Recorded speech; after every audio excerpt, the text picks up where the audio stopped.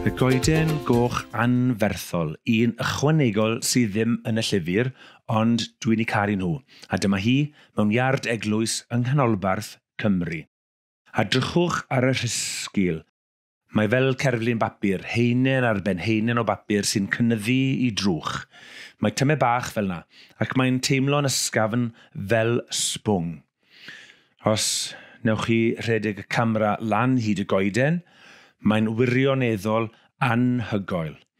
Os byddwch yn torri i fewn i'r goeden, mae'r prent i fewn yn goch, felly'r enw.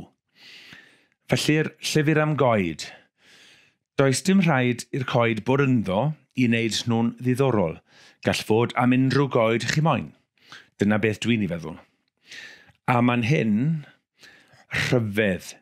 Beth ych chi'n gweld tra'n edrych am rhywbeth arall, coeden goch anferthor arall, ac ar ei weilod, sbrigiau ifanc iawn, iawn o sgawen.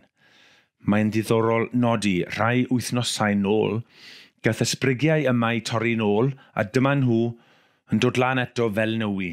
Byddwn yn edrych ar ysgawen hwyrach yn y gyfres, ond dwi'n bles gweld rhain achos dwi'n caru'r ysgawen yn fawr iawn.